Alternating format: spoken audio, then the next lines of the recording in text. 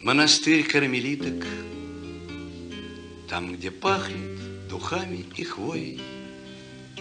По карнизу зари на свидание идет Д'Артаньян. Он красив и небрежен, он окно открывает ногою и, срывая одежды, ликуя плывет в океан.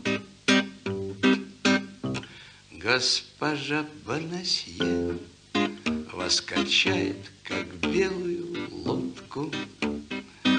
Вам поутру опять по коврам собирать паруса, госпожа Бонасье, вы счастливая женщина, только Д'Артаньян не придет. Д'Артаньян попадает в просак, то ли глухо запил, то ли встретил какую дурнашку.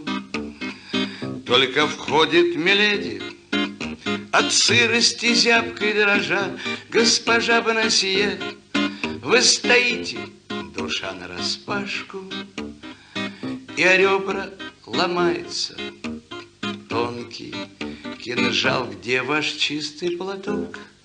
Дайте ж левую руку, потерпите немного, я вызову скоро врача, госпожа Бонасье, но снимите же трубку. У меня самолет через четверть часа.